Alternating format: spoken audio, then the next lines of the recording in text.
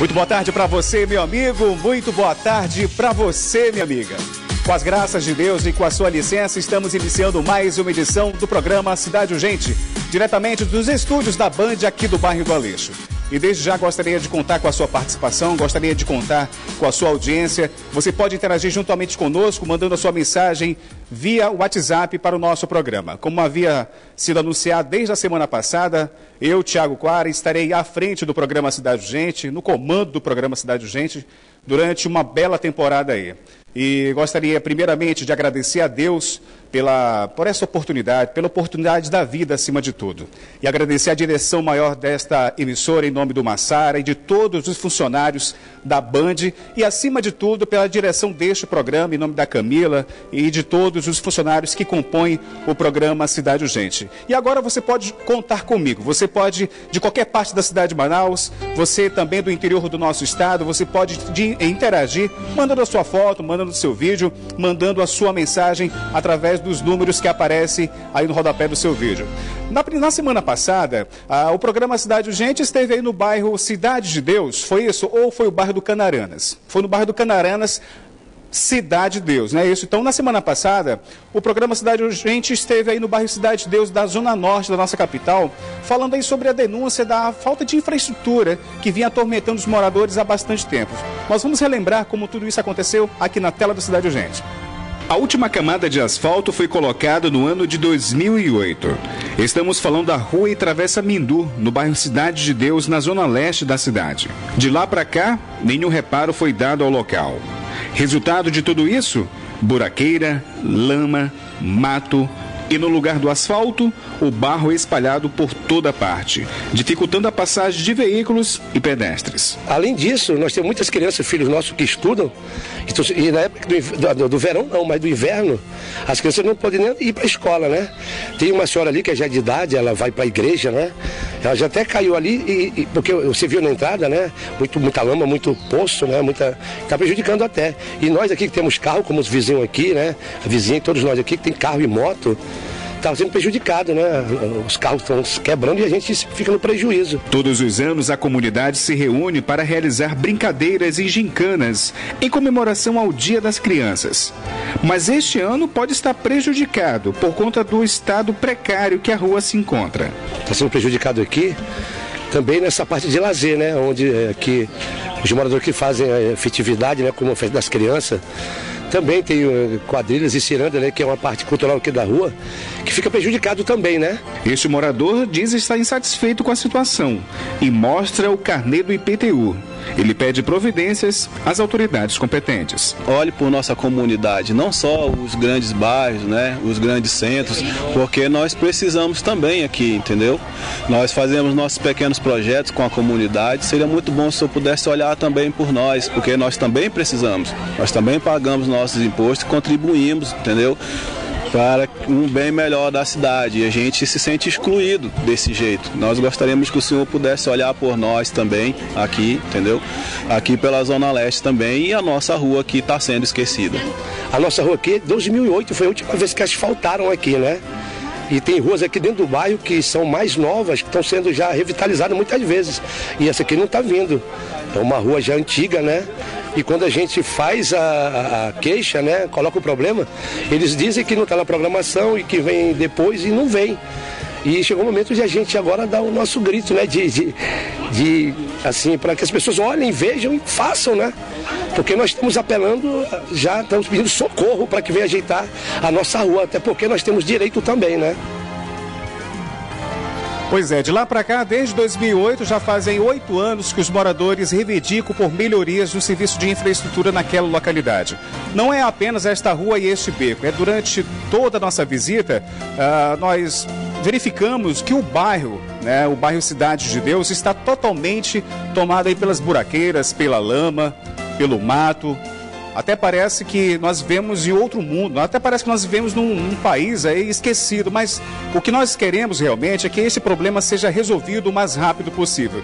Como mostrou este morador aí, há bastante tempo que os moradores vêm pagando IPTU, vêm pagando seus impostos e o que eles querem é uma rua digna, uma rua que ah, nos próximos meses possa dar bastante alegria, não apenas para as crianças, mas acima de tudo para o, para restante, para o restante da comunidade que vive naquela localidade. O IPTU está sendo pago, os impostos estão sendo pagos, mas asfalto que é bom, infelizmente, não chegou naquela comunidade. Então nós solicitamos encarecidamente à Secretaria Municipal de Infraestrutura que se estiver acompanhando essa reportagem, aliás, a produção até mesmo mandou né, uma solicitação, já foi mandada uma solicitação via e-mail e também por telefone à Secretaria Municipal de Infraestrutura. O que nós esperamos é que logo, logo esse problema possa ser resolvido o mais curto espaço de tempo. Isso dando alegria não apenas para toda a comunidade, sim dando alegria para nós aqui do programa Cidade Urgente. Até porque quando mostramos uma matéria como esta e Dias depois, nós voltamos ao local e vimos que esse problema foi resolvido,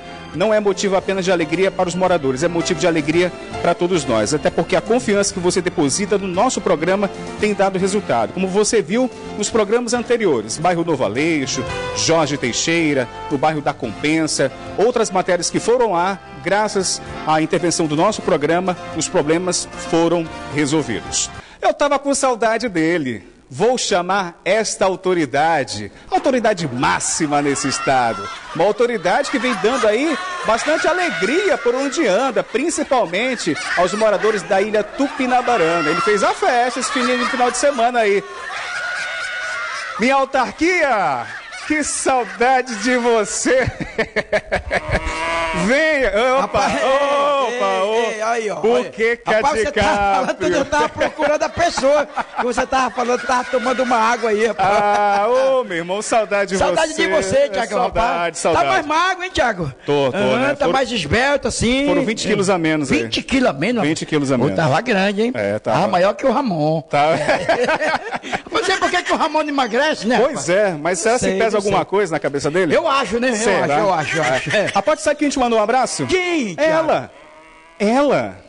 Ela. Você conhece ela. Você conhece. Eu conheço. Conhece. Sério, Tiago? Ela. A Viviane Araújo. Viviane Araújo, a Vivi, tava lá em Paritim, rapaz. Não, não, mas Ela esse final de tá- semana ah. ela estava lá em Presidente E- Figueiredo. A Viviane Não, lá de Presidente Figueiredo, rapaz. Rapaz, de Presidente Figueiredo. Ela que te mandou um abraço, um abraço cara. pra ela. Um beijo pra você, Vivi. Viviane. Bonitinha, A- a- Viviane. além, além da Viviane Araújo, o Ah. Padre Ronaldo também, que é pároco lá em Figueiredo. Ah, o Padre Ronaldo. Padre Ronaldo. Ó, é, é aquele cara daqui da Aparecida? Não, É, não, ele era aqui do Coroado. Ah, do Coroado. Padre Ronaldo, um abraço pro senhor, Padre É, Ronaldo. e todos tá? os moradores lá de Presidente Figueiredo também acompanhando o nosso Isso, programa. pessoal de Presidente Figueiredo, pessoal de Parintins também. Parintins É. também. Ô, um abraço, abraço pra os Parintins, rapaz. moradores do município Isso, do. Parintins. E também ao Mini Brute. Ó, o Mini Brute, né, rapaz? É. Mini Brute, Mini Brute, corra bacana, assim, né, rapaz? Mini Brute comeu oito x-salada. Mentira. Sério? Ele, ele comeu oito x-salada quando, no- quando chegou no, no- no oitavo, aí o chapeiro começou a chorar. Por quê? Sei o que que foi? Eu tô com medo dele me comer. Tu tem novidades, meu irmão? A novidade é que é muito quente, né, Tiago? Tá, Tá, muito tá quente, quente, rapaz. tá quente, quente. quente, quente, quente, Tiago, eu não sei. Não sei se o sol tá baixando, não sei. Sério, Nós Tá temos quente. quatro estações aqui, É né? quatro, é quatro estações. É. verão, calor, quentura e mormaço. Ave Maria. Nós estamos no... E Tiago, lá no interior, Tiago, o pessoal não tem banheiro, né? Aí o que, a gente faz? É junta a água na bacia. Pra tomar banho de noite, né? Ah, eu pensei que fosse pra fazer outra coisa. Não, é pra gente tomar banho aí assim, ó. Ju- Junta água na bacia. Rapaz, aí a minha prima foi tomar banho agora pra ir pra esse dia que eu tava lá. Em Parintins. Isso, interior de Parintins. Interior de Parintins. Ela botou a bacia, aquela de alumínio. Ah. Aí que tava lá, água lá e tal. Ela disse, eu vou tomar banho, que eu, eu vou pra escola. Ah. Aí foi pra lá, demorou, demorou, demorou, demorou. A água tava tão quente, Tiago. A água tava quente que quando foram ver, ela tinha se transformado em canja. Rapaz. Rapaz, me disseram que tava tão quente, tão Quente, quente, Parintins, que você É. fazia assim, quando você jogava e... já, já, já, já, já ia aqui, já evaporava. É, evaporava no ar, né? Evaporava. É, quer dizer que virou câncer. Ela virou canja, Thiago. Ai, Thiago, mas minha família, Thiago, esse negócio aí, ó, Ah. eu tô meio triste, rapaz, que Por quê? o meu primo, né, rapaz, meu primo continua com a famíliazinha desunida, essa minha, rapaz. Ô, agora ele Mas, chegou... mas foi, foi galhada? Não, aconteceu o seguinte, que ele, ele chegou brabo lá na escola. Mentira. Chegou brabo lá Sério? e chamou lá a diretora, a professora, e disse assim, escute, diretora, por favor, venha aqui. Aí a professora foi lá. Ah. Pois não, senhor, o que está acontecendo? Se eu vim aqui, aqui na escola, para saber desse tarde de bullying Ele Bullying? falou, é. Desse tarde de bullying que a minha cunha tem, chegou lá em casa falando. Aí ela disse, ah, esse negócio é muito sério. É sério, É sério, sério. sério, sério. Ela disse, é sério. Aí ele disse, quem é sua filha? Ele disse, é aquela gorda ali, ó, com cara de capivara.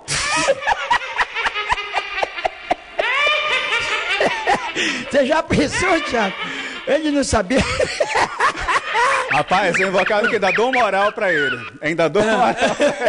A gente pergunta as coisas pra saber, a gente começa a E- Thiago, tá, tu tá Diga. bonito, rapaz. Olha, gostei Rapaz, mesmo. em falar nisso, dia 9. Dia nove, nós- dia nove. nós, nós vamos, junto com, a, com- a cooperativa Solinegro, né, participar. onde vamos? Vamos participar de um torneio de pênaltis. Me disseram que você é um bom jogador de futebol. Amanhã você vai tirar essa dúvida. Sério? Amanhã, amanhã, ontem eu tava, fiz uma matéria bonita pra amanhã. Sério? De futebol, jogar assim mesmo. Assim mesmo? Assim mesmo, pai, dei banho de Rasgou aqui, você foi? Foi, foi, o cara que puxou aqui na hora que eu, que eu ia correndo assim, aí ele puxou aqui, daí foi o pênalti. Caramba. Aí eu caí. Aí o barril, rapaz, eu sou muito. Mas eu pense no homem pra bater pênalti eu. É. Então, na comunidade, nós vamos aí na comunidade, junto com a cooperativa Solinegro, cooperativa, para é. participar desse campeonato, que é um campeonato já tradicional, de Isso. pênalti, de futebol. De pênalti, o último de pênalti, eu fui bater o pênalti e o goleiro disse assim: se tu chutar no canto direito, eu pego.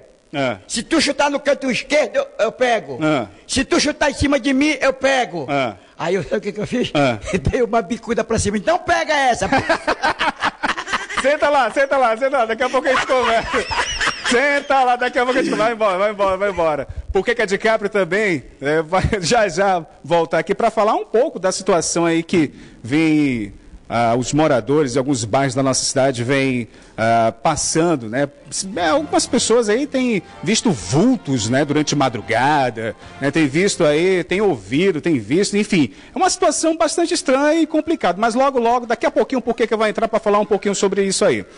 Minha gente, é o seguinte: a produção do nosso programa recebeu uma denúncia dos moradores do bairro do Canaranas 2, mais precisamente da Rua M, sobre o rompimento de uma tubulação de água. Vamos acompanhar a reportagem que foi feita pelo Halid Martins na semana passada?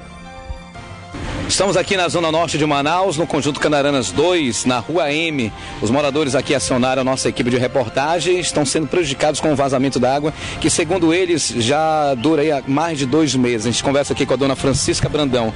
Vocês estão sendo prejudicados aí há todo esse tempo, não é isso? Com certeza, enquanto eles lançam uma propaganda para economizar água, a própria Manaus Ambiental está desperdiçando aqui. São dois meses a gente reivindicando, pedindo, implorando para que eles venham vetar esse vazamento aqui, prejudicando as ruas, né? As calçadas e os muros das casas que não tem mais, mais cor, só lama, só lama. A gente conversa com outro morador aqui, com o seu Mário, é, com o seu Mário Silva. Seu Mário, o senhor também é morador aqui da rua e se sente prejudicado com isso, né? Positivo. Olha, a Manaus Ambiental, eles fazem o seguinte, eles pregam uma coisa e fazem outra. Eu estou aqui com o pedido, que eu fui lá no PAC, tá aqui o papelzinho. Eles deram, foi dia 19 do 5, eles deram 72 horas. Até hoje não apareceram. Ó, Enquanto o pessoal da Zona Leste sofre com a falta de água, aqui na Zona Norte, o desperdício é ó. Aí todo mundo está sendo prejudicado por isso. Sem falar nas buraqueiras, né? Que tem, que consequência disso, aí surgem os buracos. Que a- o, os ônibus nem podem mais passar por aqui. Estou pensando que um dia eles vão até passar por outra rua, que não vão poder passar mais aqui na nossa rua. A gente conversa aqui com o seu Pará. O seu Pará também é morador aqui da rua e se sente prejudicado com essa situação, né? Eu, pra mim, eu, eu, eu vejo assim que mesmo que essa água não tivesse aqui, isso aqui parece que é a terra que o mundo esqueceu, entendeu? Tá aí, a gente vê, a gente solicita ao pessoal da Manaus Ambiental que venha é, resolver o problema aqui da situação dos moradores aqui da Rua M, no conjunto Canaranas 2, na zona norte de Manaus.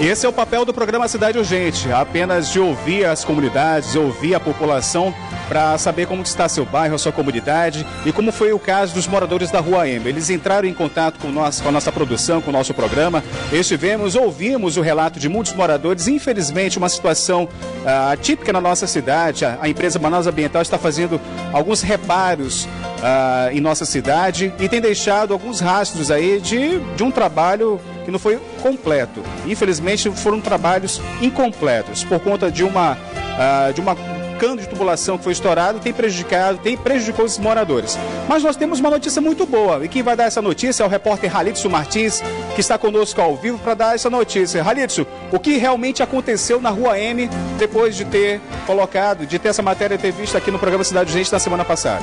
Boa tarde. A equipe do programa Cidade Urgente esteve aqui na Rua M, no Conjunto Canaranas 2, na zona norte da cidade, na semana passada.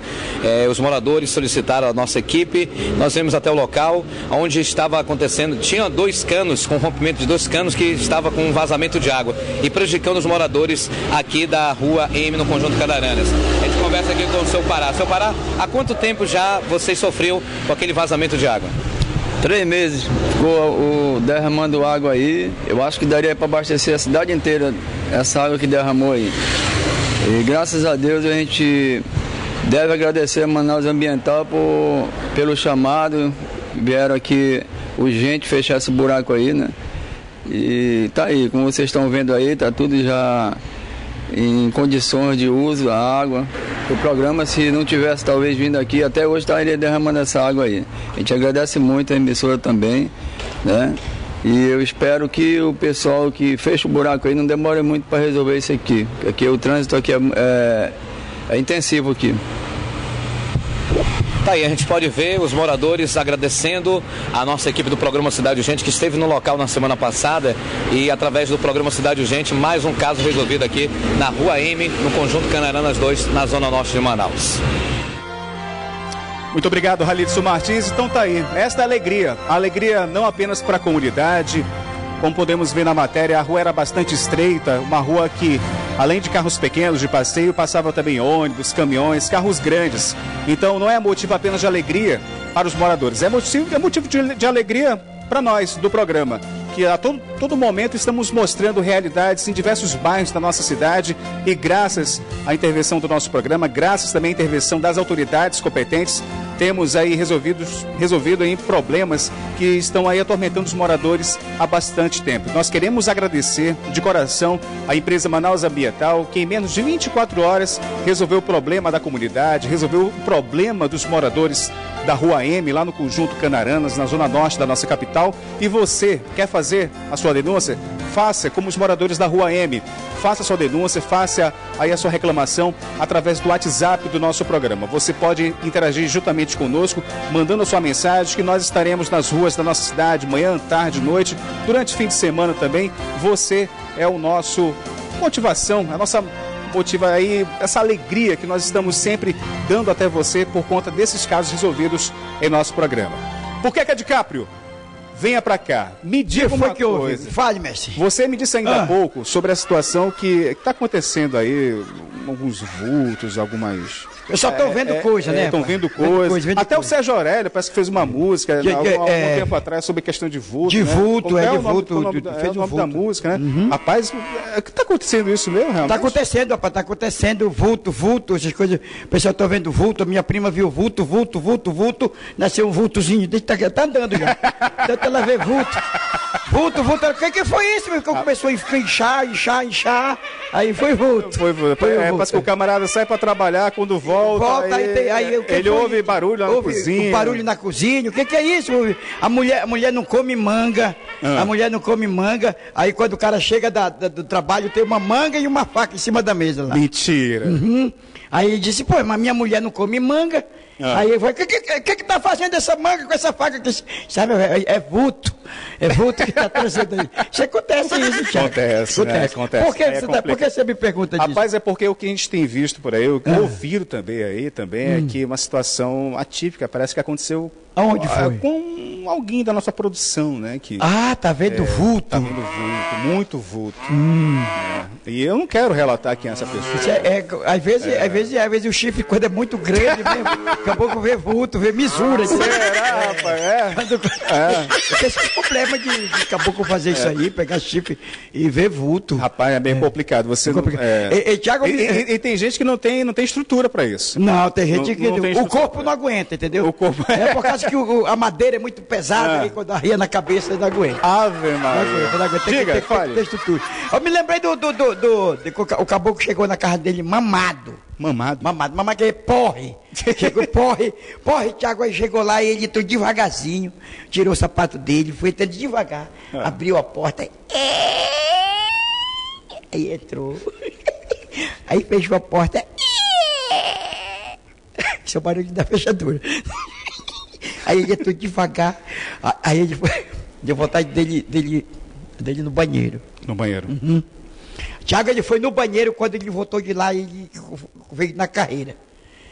Minha velha, minha velha, disse, o que, que foi, o que, que foi? Minha velha, pelo amor de Deus, minha velha. Minha velha, essa casa é mal assombrada. Essa casa é muito mal assombrada. Pega logo os galhos de, de, de arruda para te dar uma lambada amanhã. Essa casa é mal assombrada. Ela disse, por que mal assombrada? Porque eu cheguei agora, eu fui lá no banheiro, quando eu abri a porta, a luz acendeu. Aí eu estava muito aperreado, eu, eu mijei mesmo lá. Mijei mesmo, tudinho no banheiro. Aí quando eu fechei a porta, a luz apagou. Meu Deus. Ela disse, Ave Maria. ela disse, a desgraçado pegou um pedaço de pau que estava da cama lá, pá, pá, pá, na costa dele, disse, o que que foi? Esse desgraçado mijar de novo na geladeira.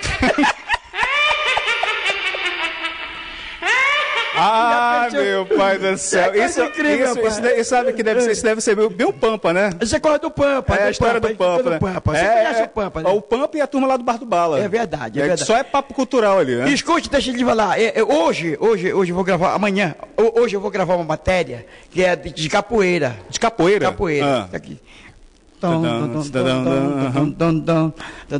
Mas eu, eu, eu não vou pelo fato de da capoeira, que eu sei, eu sei fazer o negócio Sabe, né? Eu vou por causa da música. Música. É. Por que te atrai a música? É uma música bonita, assim. Bonita, a música é né? assim, ó. Paranauê, Paranauê, Paraná, Paranauê, Paranauê, Paraná. Sabe por quê? Ah. Por causa que o Vasco pegou uma lapada do Paraná. O Vasco levou uma lapada do Paraná e eu vou só pra ver. Paranauê, Paranauê, Paranauê. Por que que é você que anda... Olha aí, ó, tá vendo aí? Você, você, você que anda de ônibus por aí. De vez em quando Ando de ônibus, né? eu ando, Agora ando, ando de você ônibus. andou de ônibus hoje, você viu alguma coisa diferente? Eu, eu vi diferente, porque eu, na, hora, que- na hora que o, o, o rapaz passou na, na, na, na, na, na, borboletinha lá. Na catraca. Na catraca lá, e aí quando ele foi passar, que ele foi pagar, que ele puxou a, a carteirinha lá, entendeu? Ah. Aí o cobrador olhou pra ele e disse assim: Peraí, rapaz, mas é- é- é- essa carteira aqui não é tua. Aí sabe o que, que ele disse pro cara Ah. lá? Quer dizer que esse ônibus é teu. Minha gente, falando sério, falando sério, é porque é o seguinte. Ah, tava, tá, o que a gente está acompanhando pelas redes sociais, pelos jornais, pelas emissões de televisão, é que possivelmente a passagem do transporte coletivo, a partir de amanhã, dia 1 de julho, vai ter um aumento de R$ 3,00, vai para R$ 3,54. O que nós do programa Cidade Urgente estamos ah, querendo saber é por que se a passagem de ônibus vai subir, possivelmente poderá subir amanhã a R$ 3,54, por que alguns ônibus do sistema de transporte coletivo da nossa capital, ou melhor, todos os ônibus que circulam da- na nossa cidade, por que, que todos os ônibus estão com aquele aviso? Hoje, quem pegou o ônibus viu o aviso que a partir de amanhã a passagem aumentaria em R$ 3,54. e 54 centavos. Há uma briga judicial entre prefeitura, entre Sinetran, para ver se a passagem continua no valor de 3 reais ou então vai ter esse aumento. Infelizmente, esse aumento vem prejudicar não apenas o pai de família, não apenas as pessoas que necessitam de transporte coletivo, mas também estudantes e principalmente aquelas pessoas que estão desempregadas. Porque veja só, se você está desempregado, você que está me assistindo nesse exato momento, você está desempregado, você não vai arrumar emprego por aí, você não vai atrás de emprego por aí, você precisa do transporte coletivo, imagine só o aumento de R$ 3,54. Mas o que as pessoas estavam assustadas é porque se é, possivelmente haverá esse aumento a partir de amanhã, por que, que o Sinetran e as empresas do sistema de transporte coletivo colocaram esse aviso logo hoje? Na sua opinião, o, o valor de R$ 3,54 é um preço justo? Vamos saber. Minha gente, a Central de Interpretação de Libras, o CILAM, ah, visa atender a comunidade. surda da região metropolitana de Manaus, com o objetivo muito simples de disponibilizar um atendimento especializado às pessoas surdas, através dos serviços de tradução e interpretação da língua brasileira de sinais e libras. Vamos acompanhar? CILAN, Central de Interpretação de Libras do Estado do Amazonas, que desenvolve um bom trabalho com pessoas surdas. Hoje, o programa acompanhou a rotina e o atendimento a uma paciente surda em um hospital da cidade. Vamos acompanhar de perto a rotina da CILAN. A central tem como objetivo disponibilizar atendimento especializado às pessoas surdas através dos serviços de tradução e interpretação da língua brasileira de sinais, Libras, facilitar e proporcionar acesso dessas pessoas nos serviços públicos para esclarecer as informações desejadas, além de ampliar a comunicação e a interação entre surdos e ouvintes, reforçada pela Convenção sobre os Direitos das Pessoas com Deficiência. Perfeito, porque a gente consegue é, realmente nos fazermos entender e entender o que ela está sentindo, né? Porque assim, o que a nossa experiência foi uma, uma cirurgia, né? Então assim, era, até durante o ato cirúrgico a intérprete esteve na sala, no centro cirúrgico. Então tudo o contato do anestesista com ela, o meu contato com ela durante a cirurgia foi importantíssima a presença do intérprete, a inclusão mesmo é, e uma facilita a comunicação com da equipe com o paciente. Além de loco com a disponibilização de um tradutor e intérprete de Libras, com o local, horário agendado nos prazos mínimo de 48 horas de antecedência para acompanhar as pessoas surdas, as bibliotecas, hospitais, delegacias, tribunais e outros locais de atendimento ao público. Antes eu me sentia muito ruim, quando não tinha intérprete, tinha essa barreira, né? Depois que eu fiz os exames, é, fiz a cirurgia que foi preciso fazer cirurgia, tomei um susto. Sério? Como? Como fazer cirurgia? Mas eu aceitei. Foi tudo bem. Depois teve o intérprete, veio da Cilana, veio no sistema, se era possível. É, se tinha que ficar o, o, o, dia todo. Aí eu fiz a avaliação, eu fiquei muito preocupada, eu fiquei muito assustada, né? Da primeira vez que fazia cirurgia, né? Então, mas eu aceitei e teve um intérprete, a minha mãe não podia, pois devido à comunicação que não tenho, né? Ela ia viajar e eu fiquei muito assustada, fiquei muito surpresa. Eu é, pedi ajuda do intérprete, fiz a cirurgia e fiquei muito aliviada no dia que teve, que aconteceu, pois teve a ajuda do intérprete, que foi muita sorte. A central funciona na CEPED, localizada na Avenida Mário Ipiranga, número 1600, Adrianópolis, zona centro-sul da cidade. De segunda a sexta, de 8 às 16 horas. Contatos para agendamentos 3878 0596. Muito bem, então tá aí, mais um trabalho desenvolvido pela CILAM e através da Secretaria uh, Especiais, né, a CEPED, que vem desenvolvendo esse trabalho em toda a cidade de Manaus e também tem desenvolvido esse trabalho, abrangendo esse trabalho em boa parte do interior do nosso estado. E mais uma vez, nós do programa Cidade Urgente queremos estar ao lado dessas comunidades, estar ao lado dessas pessoas que uh, estão trabalhando, desenvolvendo, desenvolvendo esse tipo de trabalho, ajudando pessoas carentes, como é o caso da Cilan, que fica vinculada aí à CEPED aqui na cidade de Manaus. Minha gente, estamos encerrando mais uma edição do programa Cidade Urgente aqui pela Band Amazonas. E desde já gostaria de agradecer pelo carinho da sua audiência, tanto na capital como no interior do nosso estado. Como eu disse no início do nosso programa, durante uma bela temporada estarei à frente, estarei no comando do programa Cidade Urgente e gostaria de contar sempre com a sua participação, sempre com a sua audiência. Você que está em qualquer parte da cidade de Manaus, está com algum problema no seu bairro, na sua comunidade. Então, quem sabe no seu município, você pode interagir juntamente conosco, mandando sua mensagem via WhatsApp. Ou então você pode entrar em contato também através dos telefones do programa Cidade Urgente. Uma equipe estará logo, logo no seu bairro e, como eu disse, não é apenas a alegria do problema resolvido para a comunidade, é uma alegria para nós quando mostramos uma matéria, quando mostramos um caso sendo resolvido em nosso programa. Porque graças ao bom Deus, nós temos dado aí vários sinais uh, e várias respostas através dos microfones, através das lentes do programa Cidade Urgente. Graças ao bom trabalho que vem, eh, estamos disponibilizando todos os dias até você e, claro, a sua confiança. Muito obrigado pelo carinho da sua audiência. Amanhã, horário normal. Amanhã, 1 hora e 35 minutos, estaremos aqui na Band Amazonas. Tchau, gente!